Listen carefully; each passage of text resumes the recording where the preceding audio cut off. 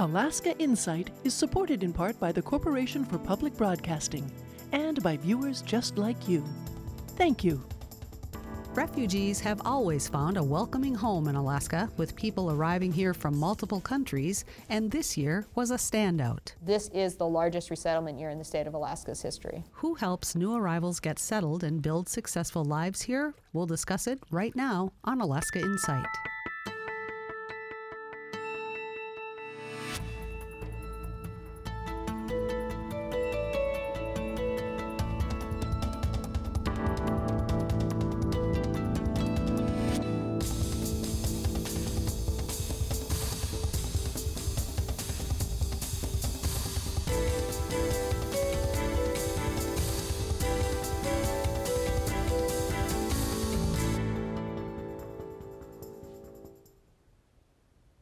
Good evening. Tonight we'll learn about the process for immigrating here and the services that are available, available to refugees and asylum seekers. Alaska has seen about twice as many people arrive this year than in previous years. We'll find out why and what the future may hold in that regard. But before we begin that conversation, we'll start off with some of the top stories from Alaska Public Media's collaborative statewide news network. Alaska's newly sworn in Congresswoman Mary Peltola has announced her top staff members. She's hired Don Young's chief of staff as her own, something that is considered unusual for Capitol Hill because staff usually stick with one party. Young was a Republican and Peltola is a Democrat. She also hired Claire Richardson to direct constituent services. Richardson is a former public radio reporter from Juneau. She worked for Governors Tony Knowles and Bill Walker and was Chief of Staff for Lieutenant Governor Byron Mallott. And Larry Persily of Anchorage will be a Senior Policy Advisor. He was a Deputy Commissioner at the Alaska Department of Revenue and was the Federal Coordinator for Alaska's proposed natural gas pipeline. Public health officials and law enforcement in Kodiak have raised the alarm that the dangerous and highly potent drug fentanyl, in a form known as rainbow fentanyl because of the colorful pills it is made into, have been seized in at least one bust on the island. A Kodiak public health nurse says the island community is seeing a definite increase in overdoses. Alaska's fatal fatality overdose rate spiked last year and state health officials say it is driven by fentanyl. Buzz Kelly, who was a candidate for U.S. Senate, has withdrawn from the race and has endorsed Republican Kelly Tshibaka. He says his motivation for suspending the campaign came after Republicans Sarah Palin and Nick Begich lost to Democrat Mary Peltola in the special U.S. House election. Others in the Senate race are incumbent U.S. Senator Lisa Murkowski, also a Republican, and Democrat Pat Chesbro. Kelly says the timing of his campaign suspension was on purpose. Had he dropped out by the De September 5th deadline, the fifth place candidate would have replaced him on the general election ballot. Tonight's program features stories about some of Alaska's newest residents. Every year, people resettle in Alaska after escaping conflict in other parts of the world. The reasons they left their homes and the circumstances under which they arrived may be different but they're all looking for the same thing safety and security for their families. Now, conflicts are driving a major increase in the number of refugees and other immigrants arriving in Alaska from overseas. Alaska Public Media's Adelyn Baxter has more on what that transition is like for new arrivals. This we add a P-I-N-G. Inside Anchorage's Refugee Welcome Center, Bridget Reynolds is teaching a job readiness class. Going going shopping. All four of her students today are recent arrivals from Ukraine. They're among the hundreds of Ukrainians who moved to Alaska this summer as the war with Russia drags on. Taking class, attending class, same, same. The class is free. It's provided by Catholic Social Services, Refugee Assistance and Immigration Services, or RAISE. That's the resettlement agency for all of Alaska. RAISE is federally funded and helps people with housing, jobs, and other support services for up to five years after arrival. For many people, that starts with learning the language. You can also just say, I am shopping at Costco. We have these job readiness classes to assist with vocational English, like getting people ready to work. Um, but then also it's like ongoing cultural orientation. So things that they will walk out of the classroom and be able to start using. They've also expanded their classes online to accommodate people who have resettled in other parts of the state outside of Anchorage, and they're seeing more demand than ever this year. This is the largest resettlement year in the state of Alaska's history. Hey, Jamie, how are you? Issa Spatrisano runs RAISE. She says in a typical year, they process about 130 new arrivals. That number dipped significantly during the pandemic. Good to go! But now, due to conflicts in Afghanistan and Ukraine, the agency is handling more clients than ever before. Last fall and winter, more than 100 Afghans arrived. Since the war broke out last spring, upwards of 200 Ukrainians have come to Alaska, and more are expected. Spatrisano says the higher number of Ukrainians has a lot to do with who was already here. So those communities are naturally going to grow when those populations increase, and you're watching it happen here in Alaska with Ukrainians. So Alaska has a historic tie uh, to many uh, routes to former Soviet Union arrivals from Ukraine and Russia. The Ukrainians and Afghans who have arrived in the last year are unique among RAISE clients. They're here because of federal programs giving them parolee status for a designated amount of time. In the case of Ukrainians, U.S. citizens need to sponsor them. Afghans and Ukrainians are not refugees in the legal sense of the word. Um, but they're here and they're allowed to access benefits because of these change in congressional acts. Many new arrivals take seasonal jobs in the visitor industry when they first arrive, but long term employment can be difficult to secure while people are adjusting to life in a new country. There was a group called Partners for Progress. RAISE works with a variety of community partners to help and encourages clients to explore starting their own business. One way they're doing that is through food. In partnership with the Anchorage Community Land Trust, RAISE operates Grow North Farm in the Mountain View neighborhood. Dozens of refugees and other new arrivals work at the farm through the Fresh International Gardens program. Some of them manage their own plots, supplementing their incomes with what they sell and their diets with what they don't. Like 14 year old Shahil Rana and his family. They arrived from Nepal when he was seven in the summer now, he helps his mother work their plot and sell the vegetables at farmers markets around town. So we usually sell everything that we grow here here and we usually take some to eat also. His family also sells homemade samosas through Grow North's food stand. There are 6 different small food businesses at the farm and starting this summer, a food truck with rotating offerings such as a Burmese soup called mohinga. Shahil says he enjoys farming, but he has other ambitions. For now, college, and one day maybe a career in marine biology. In Anchorage, I'm Adelyn Baxter. Joining me tonight to discuss the experience of moving to Alaska from another continent and who aids them in finding a path to a successful new life is Issa Spatrisano. Issa is the State Refugee Coordinator for Catholic Social Services, and Divine Nganga is an Alaskan who originally hails from Cameroon. Welcome, both of you. Thank Thanks you. for having us.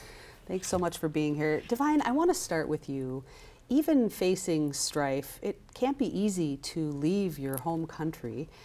Tell us about your life in Cameroon and what forced you to leave it. Thank you very much. Um, um, my life back home in Cameroon, I used to work with the government.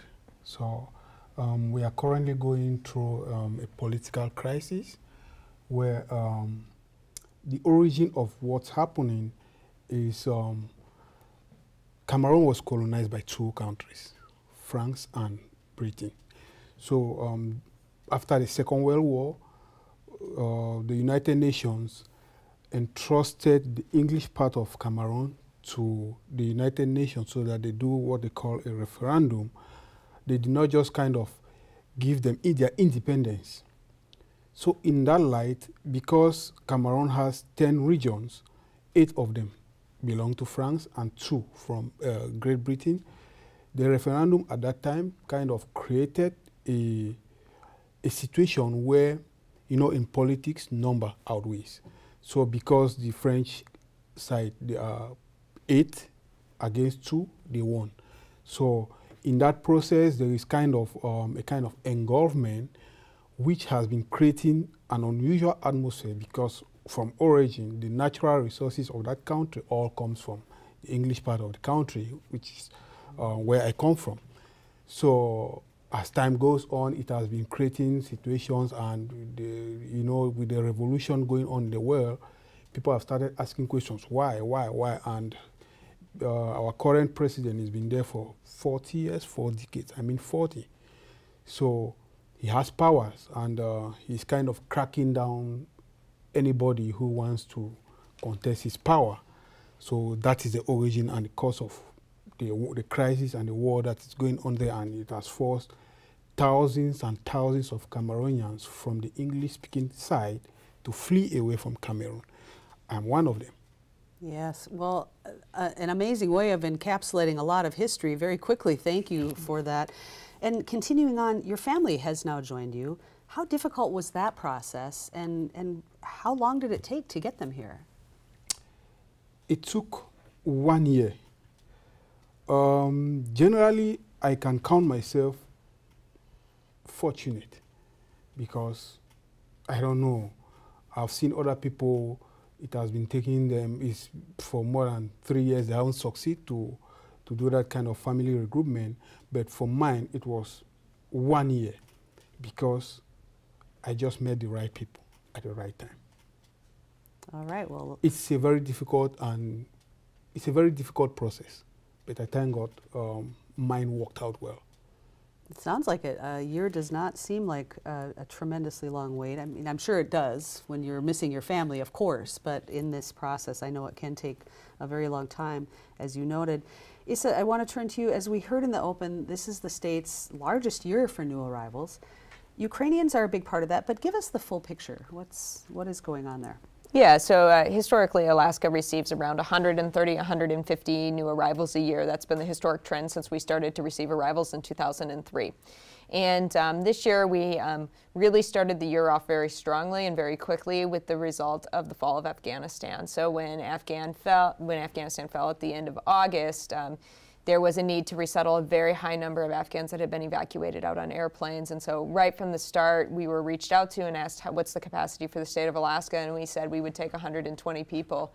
And I mean, that's really our entire year right there. Uh, and uh, there was some plans that it's okay, it should be all right. We have the capacity to, to, have 200 people, you know, so if we get the other groups plus Afghans, that would be all right. And so really, in the span of like four months, we received 100 and, well, 115 Afghans. And then um, on the heels of that, not any of us expecting what would happen in Ukraine did occur, of course, in Ukraine. And then with the strong family ties and the strong connection to Slavic communities here in Alaska, and in, um, we're seeing really very, very high numbers of Ukrainian arrivals. And mixed in with that are our regular refugee arrivals who are not to be forgotten about. We just welcomed a Congolese family of six two days ago uh, here in the state of Alaska. So you know, there are scattered arrivals mixed in with those. And so, really, with the traditional refugee arrivals, and then you talk about the Afghans arriving very early on in the fiscal year, and now Ukrainians finishing out the fiscal year, it's just really been um, globally, I mean, so much of what we do is affected by what's happening in the globe, and just globally, it's really been a year of conflict.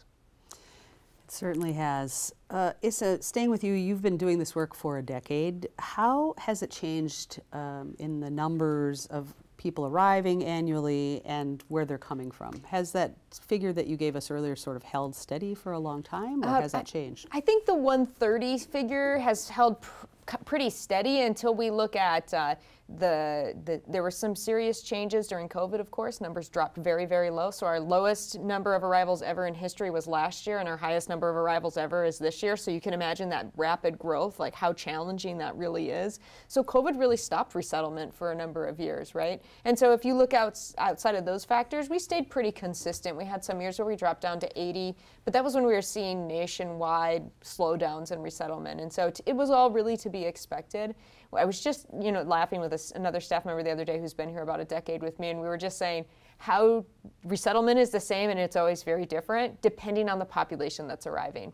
And every cultural group has its own challenges, its own barriers, its own strengths, its own you know, kind of things that arrive with them. So, you know, when you get really, you're never very good at resettlement because as soon as you get really good at serving Afghans, Ukrainians arrive. And as soon as you get really good at serving Somalis, now it's Sudanese arriving. And whether it's the Burmese or the Bhutanese or Asylees from Cameroon, you really learn the core values of cultural humility and then you really learn to get up to speed. I mean, what Divine just gave you in a history lesson in three minutes, I mean, our, our office is responsible for knowing all those history lessons because if we don't understand what our clients what caused our clients to flee? How will we serve them upon arrival? And so it's the same and it's always very different. And I think as um, the globe changes and address and historical things occur and um, we are always adapting too. So it's been the same and it's always been very different in the 10 years, I think. the same and very different. Divine, how is it that you chose Alaska and where are you in the process for citizenship? My choice of Alaska is um, when I was coming to the US, I have a childhood friend and brother who is a resident in Alaska for 17 years now. So it, the more reason why I was coming to Alaska was because I, didn't, I was more of accommodation. Somebody who has to accommodate you first before you figure out. You can't just be going to the United States of all that you, are, you know anything. So um, the first reason initial was accommodation. That's the choice of Alaska. And then um, in the process of um, naturalization, it still remained me, remained me um, 19 months, almost two years, to become, uh, to apply to become a, a U.S. citizen. So you are 19 months away from the ability to apply, or you're 19 months away from that being finalized? I'm 19 months away for the eligibility to apply to I become see. a citizen. Okay, and Mhm. you arrived in 2019, is that correct? Yeah, 18 Okay. in effect. 18, Mhm. okay. And you work in the healthcare field currently. How does that work you're doing here compared to what you were doing in Cameroon? Um, I think that is one of the unique identity of the United States of America. You can become anything if you want to be. I think so. I believe in that because I have instances where uh, friends and families that I know, they were teachers, they are now doctors, they were this, they changed profession. That is one of the unique characteristics that I believe. That's my opinion. I might be wrong, but I think that is one of the characteristics. In Cameroon, I was a customs border patrol officer. Yeah, but coming to the United States, in Alaska particularly, I made um, my own research on what, how can I be useful in the community. And uh, with that, with that kind of research, the result was healthcare is almost the best way you can be useful in the community. That was my motive. I changed and I did some trainings and things like that. And yeah, I'm a counselor. All right, well, fantastic. Thank you for that. Your family, as we noted, has now joined you. How has it been for your wife and your children to adjust to life here? Um, the change was so drastic. When they, they, they arrived in January, Oh dear. they arrived in January, and you know what January is in Alaska. Coming from Cameroon, where the climate is tropical, kind of, and then to, uh, to Alaska in January, I mean, it was totally different. It was very hard for them. Hmm. But uh, the preparation on how to welcome them, on how to get them um, adapted to the climate, the community, and things like that, I can hand that um, um, that strength and uh, honor to Issa because she's the one who guided us on how to welcome them, how to clothe them during that time. You know, they have to put on coats and the, how to integrate themselves into the community. All was being done by Catholic Social Services through Issa here present. So with this, I will really, um, from the bottom of my heart, I use this opportunity again to tell her thank you very much. And, and your kids, your children are in school. How has that adjustment been? Very different. You know, you're in the United States, you're not in Cameroon. It's a very, very different setting. So, how has that adjustment been for them? yeah, it's, it's really challenging because um, the culture, everything was different. And um, they come from a culture where looking at you in the eyes is disrespectful. So we start telling them, because I was here before them, we have to start telling them that, hey, if you, if you are talking to somebody, don't be kind of, don't be like shy. Look at the person. That means you are paying attention. If you don't, they will have other interpretations. So to them, at that time, those are the little little things that really gave them hard time. And you know, you just come to a place like the, the first two, they went to service. Service high school is like a village. wow. They were like, is this a school or a village?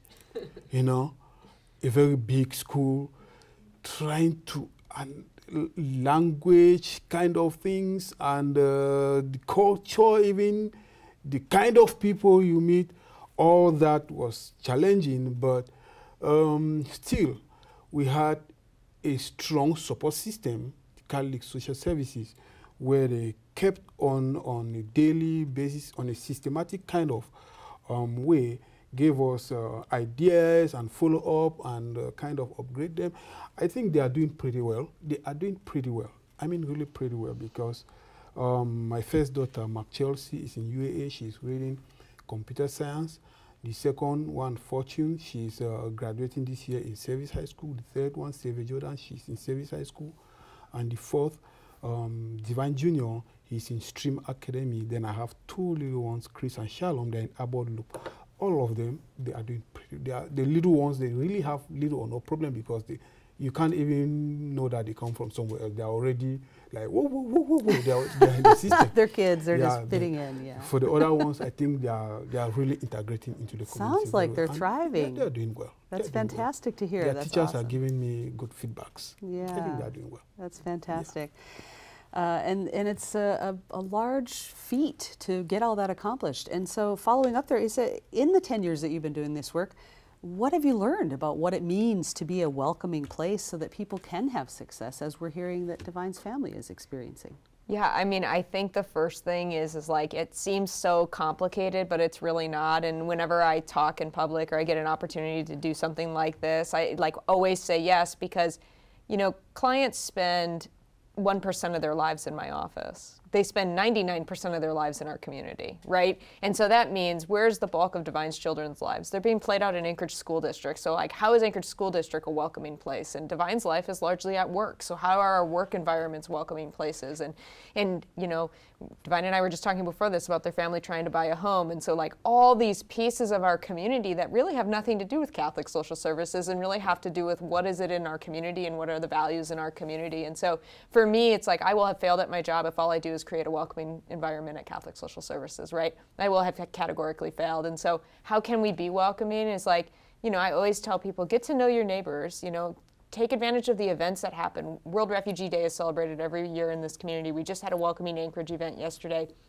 Grow North Farm is a public place. We welcome you to come down and meet the refugee entrepreneurs on site that are growing food, that are feeding our community. You know, yesterday we had the Alaska Department of Health and Human Services giving out 30 extra dollars to WIC and SNAP recipients on site to purchase vegetables. I mean, those are the kinds of ways in which we build a community, you know, and I think we do that in a varied numbers of ways. So people can always check out our website to see what kind of events we have going on. But I think that's step one. And I think step two is just be kind. It seems so simple, mm. but it really is part of it. I always tell people next time you're at the grocery store and someone is fumbling with their benefits card and they don't know how to put the number in, that could be a new arrival who just got here three days ago. So can you be kind and patient in that aisle? Even though you got someplace to go, can you just be patient? Can you just wait a minute? You know, and like that goes a long way. And our students have a part to play. You know, when Divine's kids showed up at school, I guarantee there was someone who was very kind to them. You know, and that's yeah, important. It's a good message. Just be kind. It's quite simple. Divine, uh, Issa mentioned that you're trying to buy a home, but do you imagine that you'll plan to stay in Alaska for the long term, or are there other places you'd like to live? Oh, that's a very good question. um, I don't plan to move hmm? for many reasons. Do you want me to share them with you? About 30 seconds we've got. Okay. The first reason is I come from uh, a coastal place in Cameroon, so Alaska is a good fit for me. I go to fishing, I find it very, it's normal. It's just like, that's I'm used to. Fish, eat natural things. And then the climate is good. And then another aspect is, which is very particular, is um, everything in Alaska is big. everything is big. The nature is kind of unique and different. And um, there, there are some advantages where you, the state income tax is not being perceived and uh, things like that. Mm -hmm. Well, thank you so much, uh, both of you, for being here and uh, welcome to Alaska. thank you. Just be kind. Such a good way to wrap this up. Alaska is always in need of smart, hardworking people who contribute to their local community, and our state has a long history of people arriving from other countries who have helped build the state's economy and culture. Diversity in worldview and traditions adds innovative thinking to the problems that face us all and also makes our communities much more interesting places to live, learn, and grow together.